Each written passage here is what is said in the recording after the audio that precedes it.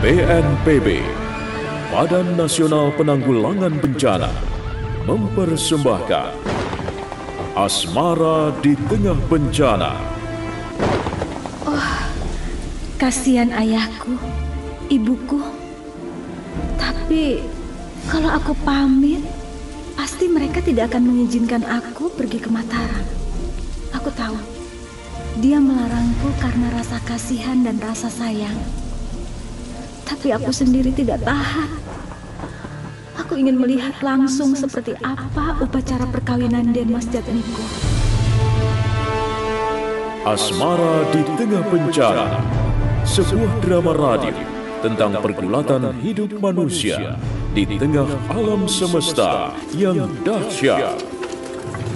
Eh, Sonorejo, jika kamu sedikit pintar, pasti kamu segera akan menyerahkan diri. Kalian ini prajurit-prajurit macam apa? Aku tidak akan kabur dari gelanggang ini. Memang kalian sudah bisa merobohkan Ki Joyo, tapi itu bukan berarti kalian bisa memaksa Beranjangan Edan untuk menyerah. Jangan banyak mulut kamu Beranjangan Edan.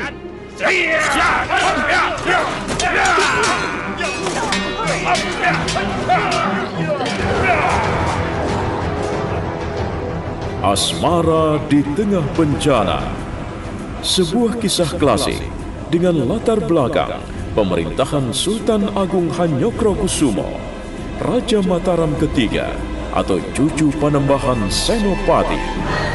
Kalau sampai Kanjeng Tumenggung Puspoyodo tahu masalah ini, kamu bisa dihukum gantung. Aku sudah tahu soal itu, Denmas. Jangan khawatir. Joko Umayyah tidak terlalu bodoh. Akan ku cari dua orang itu. Akan ku kejar, sekalipun mereka berlari sampai ke ujung dunia.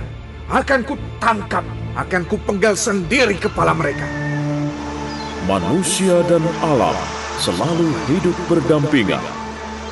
Manusia boleh terbang setinggi-tingginya, menyelam sedalam-dalamnya. Tetapi kekuatan alam takkan bisa dilawan. Lihatlah ayah, Joko Umayyah anakmu ini telah dihina, telah dinista orang Mataram. Balaskan dendamku ayah, balaskan sakit hatiku. Asmara di Tengah Bencana, episode kedua.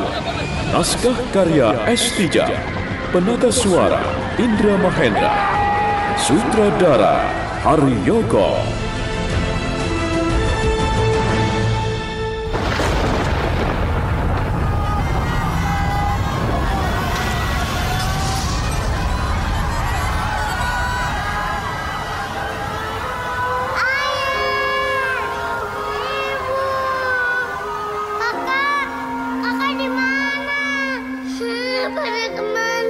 Bencana alam bisa memupuskan kehidupan jika kita tidak bisa mengantisipasinya. Gempa bumi, tsunami, angin topan, banjir, tanah longsor, kebakaran hutan, erupsi gunung berapi, dan lain sebagainya. Mereka bisa datang kapan saja tanpa memberi tanda sebelumnya. Saatnya mengenal lebih dalam dengan karakter alam di sekitar kita dan kenali tanda-tanda bencana lebih dini. Jadikan alam sekitar sebagai sahabat kita. Iklan layanan masyarakat ini dipersembahkan oleh BNPB, Badan Nasional Penanggulangan Bencana.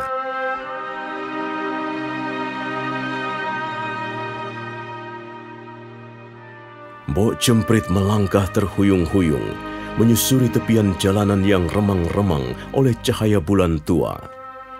Wanita setengah tua itu masih kelihatan cemas Sebentar-sebentar dia berhenti untuk menengok ke belakang. Rupanya dia takut dibuntuti oleh prajurit-prajurit Mataram suruhan Puspaningrum. Oh, mudah-mudahan mereka tidak mengejarku, tidak membuntuti aku. Aduh, aku sekarang ada di mana ini? Aku tidak kenal jalanan ini. Aku bisa tersesat ke mana-mana. Yang penting aku bisa kabur dari kurungan Den Ayu Pusponingrum.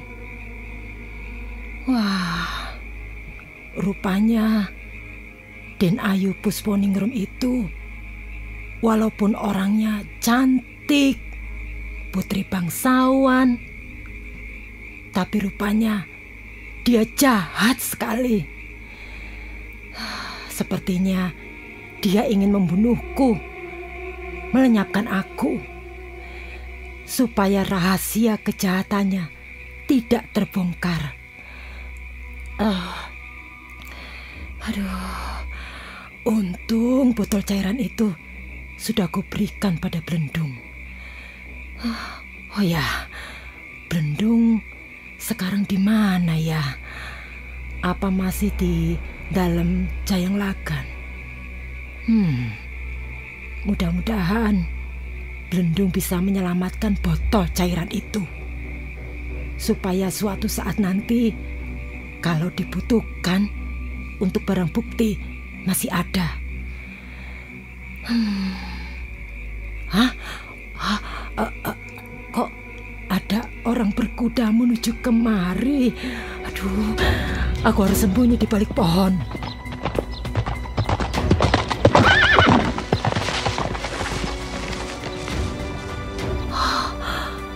Sepertinya, oh, bukan prajurit Mataram. Barangkali warga desa biasa. Hmm, aku harus segera mencari tempat persembunyian yang aman. Sebab kalau tidak, Sebentar lagi pagi akan tiba. Semuanya akan kelihatan jelas. Untuk siang hari rasanya sulit sembunyi. Oh, pasti mereka akan melihatku. Uh, dan Ayu Pusponingrum itu bikin susah orang tua saja.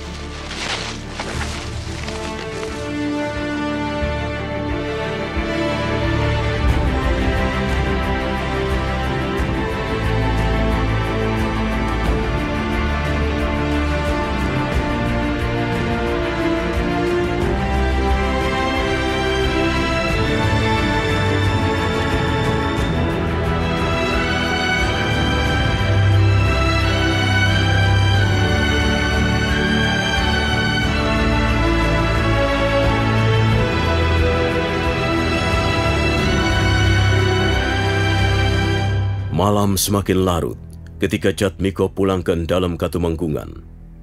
Setelah menambatkan kudanya di kandang, putra Gusti Tumenggung Jayang Logo itu pun melangkah bergegas menyeberangi ruangan pendopo. Dia langsung menuju ke ruangan bilik pribadinya. Stioningsi? Loh, kok Stioningsi tidak ada di sini? Kok ruangan bilikku kosong?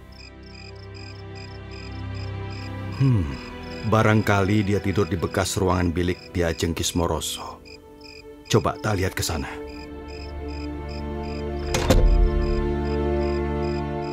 Jatmiko segera menutup pintu ruangan biliknya. Kemudian bergegas menuju ruangan bilik bekas Kismoroso, adik kandungnya.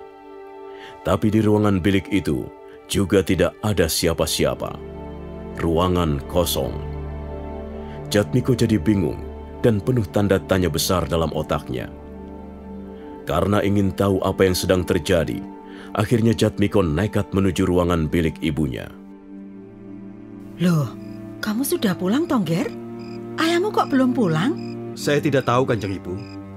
Barangkali ayah masih mempunyai urusan dengan para tumenggung yang lain. Kami para prajurit muda sudah pulang sejak sore tadi. Hmm. Tapi ruangan bilik saya kosong, Kanjeng Ibu. Di mana Setioningsi? Oh, kamu mencari Setioningsi ya? Loh ya jelas Kanjeng Ibu, saya mencari istri saya.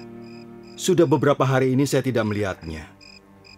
Setioningsi pergi ke mana Kanjeng Ibu? Pulang. Loh, kok pulang? Pulang ke mana? Lah Setioningsi itu rumahnya di mana toh? Masa kamu tidak tahu? Setioningsi itu kan rumahnya jauh dari sini. Di sana, di kaki Gunung Merapi di desa yang namanya Jatisari. Istrimu itu sudah sejak kemarin pulang ke Jatisari, Jatmiko. Loh, kok pulang ke Jatisari? Kenapa, Bu? Lah, Ibu tidak tahu. Tanya saja sama orangnya langsung. Mana ibu tahu? Huh, Setyoningsih itu kan susah diatur. Kalau menurut para abdi, dia itu pulang diantar Blendung. Oh, diantar Blendung ya? Tapi anu ibu, dia pulang mau apa? Ya ibu ndak tahu toh Jatmiko. Dia itu tidak pernah ngomong apa-apa sama ibu. Dia pulang juga tidak pamit. Langsung pagi hari tidak ada orangnya. Tapi kalau Blendung, ibu dengar sudah kembali kemari kok. Coba saja kamu tanya sama dia sana. Oh, baik kanjeng ibu. Biar saya tanya Blendung. Ya.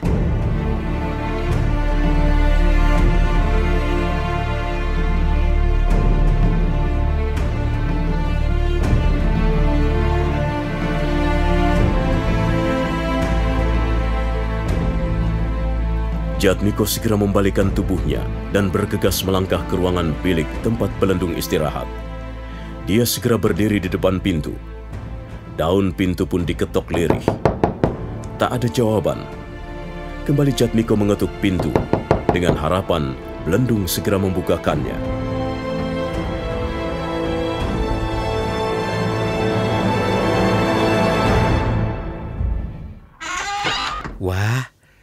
Denmas sudah pulang ya? Setioningsi ke mana? Dia sudah pulang, Je. Anu pulang ke Jatisari. Dia mendesak-desak saya minta diantarkan ke Jatisari. Saya ya terpaksa. Kamu kok lancang sekali, Blendung? Sungguh, Denmas, saya terpaksa. Soalnya Yuningsi mendesak-desak terus, merengek-rengek minta diantar pulang ke Jatisari. Lah, sayanya harus bagaimana coba? Kamu kan bisa menolaknya. Pakai alasan apa saja. Kamu tidak harus menuruti keinginan Setioningsi kan? Ya, kan kasihan Denmas. Sepertinya dia sudah tidak betah di sini. Dia menangis terus tiap malam. Itu bukan urusan kamu, Blendung. Kamu itu hanya seorang pelayan. Kamu pembantu di sini, abdi. I iya, iya. Tahu artinya abdi? Iya, iya. Abdi itu tidak boleh berlaku seperti majikan. Abdi ya abdi, I- iya. pembantu ya pembantu. Jangan berbuat seenaknya seperti seorang bendoro kamu. Iya, aduh Denmas. Saya malah tidak kepikir sampai ke situ. Iya, memang tidak kepikir. Wong pikiranmu itu kotor. Tapi Dasar wong deso. Pembantu kok berani kurang ajar. wong Nanti kalau perbuatanmu itu digunjingin orang bagaimana? Hah? Itu loh istri Raden Mas Jatmiko dibawa-bawa sama pelayannya. Bagaimana kalau begitu, heh? Enak tidak perasaanmu? Dan perasaanku bagaimana coba? I- iya, iya. Maaf Denmas. Saya kira tidak akan sampai seperti itu Denmas. Wong semua orang juga tahu bahwa Setioningse itu istrinya Denmas Jatmiko. Semua orang juga tahu Blendung itu hanya seorang pembantu, seorang pelayan, seorang abdi. Tapi nyatanya kamu tidak tahu, tidak sadar, tidak eling. Tidak melihat apa-apa kecuali hawa nafsumu sendiri. Matamu merem ya Blendung. Matamu sudah tidak bisa melihat lagi siapa dirimu. Oh, aku dulu pernah menyelamatkan nyawamu Blendung. Kalau tidak kuselamatkan, sekarang ini tidak ada manusia yang namanya Blendung. I- Dia iya, sudah Denmas. mampus karena dihukum mati oleh ayahku, Kanjeng Tumunggung Jayeng Loko. Hmm? Ingat tidak kamu? Ingat kan? Iya iya iya iya iya. Tentu saja ingat Den Mas, ingat. Kalau saya lupa bagaimana saya tetap tinggal di sini sebagai seorang abdi. Ingat Den, ingat saya. Saya tidak pernah lupa peristiwa itu Den Mas.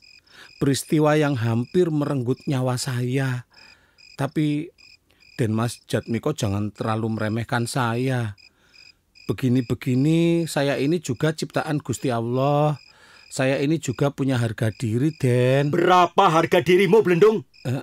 Ayo, sebutkan berapa harga dirimu. Nanti tak beli sekalian. Ti- ti- tidak seperti itu. Tidak seperti itu toh, Den, Mas. Jangan mentang-mentang menjadi priayi terus berbuat seenaknya saja pada kawulo cilik. Jangan, Den, Mas. Kalau tidak ada kawulo cilik, tidak ada kawulo alit, tidak ada pelayan, tidak ada pembantu, Den Mas Jatmiko bisa apa? Mau minum, bisa gelasnya ngisi sendiri apa? Mau makan, apa ya piringnya bisa ngisi sendiri? Terus datang sendiri, kan ya tidak bisa toh Den. Dan Mas Jatmiko itu butuh orang lain, butuh pelayan, butuh pembantu. Soalnya Denmas Jatmiko tidak pernah mengerjakan apa-apa. Semua pekerjaan diselesaikan para pembantu dan para pelayan. Tapi kok Denmas Jatmiko begitu memandang rendah pada mereka? Jangan Denmas, nanti kualat loh. Nanti Denmas Jatmiko akan merasakan betapa beratnya hidup tanpa pelayan. Iya, memang berat. Tapi lebih berat lagi jika aku punya pelayan seperti kamu, Belendung. Baiklah kalau begitu, Denmas. Kalau begitu saya keluar dari dalam kata menggungan. Saya juga sudah tidak tahan lagi diperlakukan semena-mena seperti ini. Seperti saya bukan manusia saja. Baiklah, Denmas. Nanti Denmas akan merasakan. Dikira ruangan bisa bersih sendiri apa? Hah. Dikira kolam bisa mengisi air sendiri apa? Dikira kuda-kuda dan binatang-binatang ternak itu bisa mencari makan sendiri. Siapa yang mengerjakan semuanya itu, Denmas? Blendung. Blendung ini saya yang mengerjakan. Saya bekerja di sini dari pagi sampai malam hari. Kadangkala sampai tengah malam belum bisa tidur karena terlalu capek. Karena saya tidak ingin rewel, saya tidak ingin merepotkan Denmas Jatmiko dan keluarganya, maka saya diem saja. Biar semuanya saya yang menyelesaikan, biar semuanya saya yang mengerjakan. Yang penting Denmas Jatmiko dan keluarganya tetap bisa hidup dengan tentram, aman dan damai. Iya, beginilah nasib seorang pelayan. Rupanya kerja saya susah payah selama ini sama sekali tidak dihargai. Sama sekali tidak ada nilainya. Nilainya nol besar. Hei, Belendung! Tunggu, Belendung! Kamu mau ke mana? Sudah. Tunggu kataku! Dan Mas Jatmiko kan sudah tidak membutuhkan saya lagi. Ya sudah, saya mau pergi. Hmm, wah enak banget suasananya. Sejuk, seger. Ah, Papa pinter deh pilih tempatnya untuk bangun villa. ya, walaupun ngurus izinnya susah, untung Papa punya jurus jitu. Kopinya ya, Pak. Mm, mm, mm, makasih, Ma. Anak-anak di mana? Tuh, lagi pada main di halaman.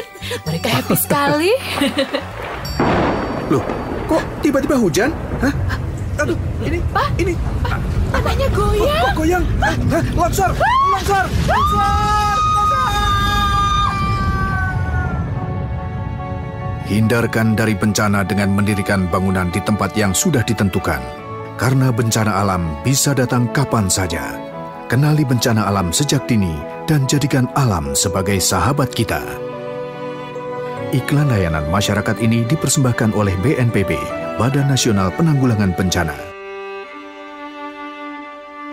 Jatmiko terdiam begitu mendengar teriakan-teriakan belendung abdi kinasihnya sendiri. Jatmiko sama sekali tidak pernah menduga bahwa belendung akan bertindak seberani itu. Tapi akhirnya Jatmiko sadar bahwa memang dialah yang keterlaluan sikapnya terhadap abdi maupun pelayan. Barangkali belendung benar-benar tersinggung sehingga dia marah. Pada saat itulah tampak seorang laki-laki menyeberangi halaman depan lalu naik ke ruangan pendopo. Buru-buru Jatmiko menghampiri laki-laki tersebut yang tak lain adalah Ki Berkah Dalam. Oh, kamu yang bernama Ki Berkah Dalam ya? Encih dan Mas, saya Ki Berkah Dalam. Saya hanya ingin melaporkan bahwa bibi saya, Mbok Jemprit, diculik. Diculik? Iya. Siapa yang menculik? Ah, anu, yang menculik prajurit-prajurit Mataram, Den Mas. Mereka adalah orang-orang suruhan Den Ayu Pusponingrum. Hah, jangan sembarangan ngomong kamu. Masa Puspaningrum menyuruh prajurit menculik bibimu?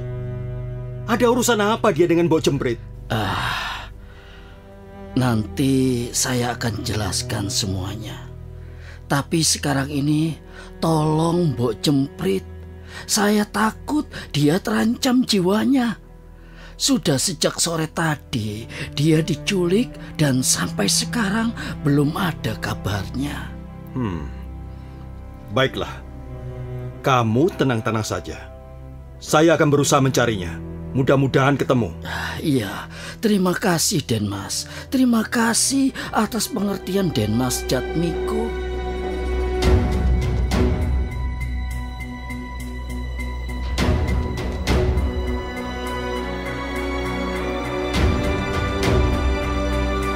Jatmiko segera memacu kudanya, meninggalkan dalam Katumenggungan. Dia menyisir jalan-jalan di kota raja yang masih sunyi senyap. Tak ada seorang pun melintas di jalanan. Pada saat itulah, dari jauh, dia melihat sosok seorang perempuan melangkah terhuyung-huyung di pinggiran jalan. Jatmiko segera memacu kudanya, menghampiri sosok orang tersebut.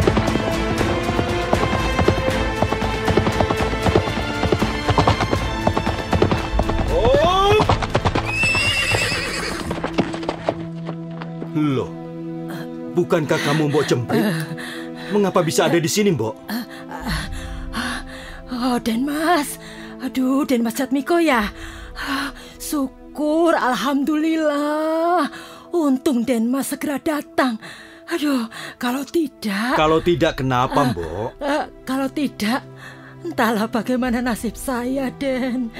Perempuan tua yang celaka ini. Untung Denmas Jatmiko segera datang. Tolong Denmas, selamatkan jiwa saya Denmas. Ada yang mau membunuh saya. Siapa, Mbok? Siapa yang berani membunuhmu? Dua orang prajurit Mataram Denmas. Mereka orang-orang suruhan. Anu, anu, maaf Denmas. Mereka orang-orang suruhan dan Ayu Pusponingrum. Oh, jadi begitu ya, Mbok? Baiklah. Tapi kamu tidak perlu takut, Mbok. Iya, Den Mas. Aku akan melindungi kamu. Sekarang, ayo ikut aku. Naik ke atas kuda. Aku akan membawamu ke dalam katok menggungan Jayang Lagan. Dan aku akan memerintahkan prajurit-prajurit Mataram menjagamu untuk melindungi keselamatanmu. Tidak akan ada orang yang berani menjamahmu, Mbok. Percayalah. Duh, Den Mas. Terima kasih atas uluran tangan Den Mas Jatmiko yang baik hati dan mulia jiwanya. Sekali lagi, terima kasih Den Mas. Matur nuwun sangat.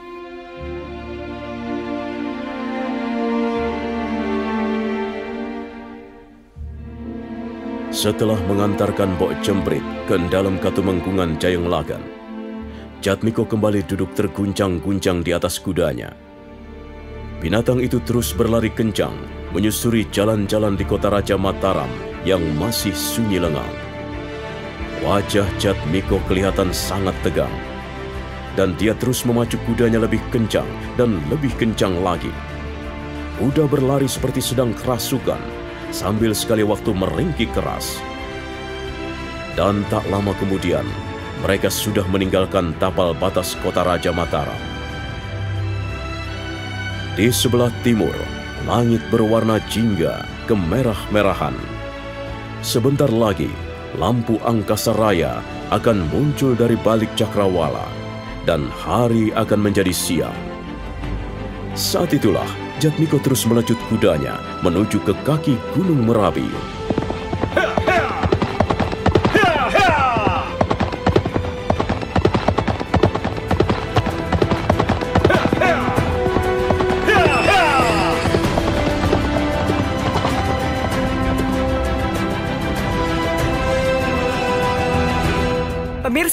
Musibah gempa yang baru saja terjadi telah meluluh lantakan pemukiman warga di sini. Namun kita lihat ada satu bangunan yang nampak kokoh berdiri.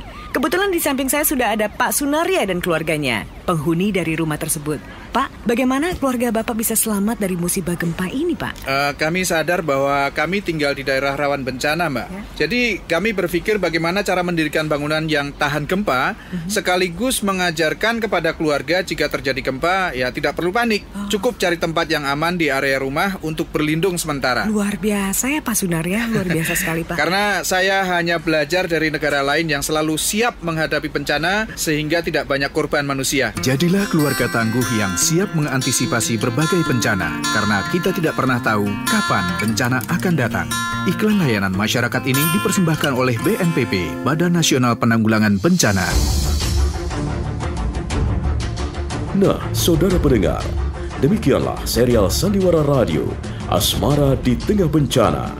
Dalam seri ke-99 ini didukung oleh para pemain Ferry Fadli sebagai Jat Miko, Siska Jawa sebagai Nyai Tumenggung, Lekino sebagai Belendung, Ari Guritno sebagai Mbok Jemprit, Ashari sebagai Berkah Dalam, dan Asli Suhastra pembawa cerita.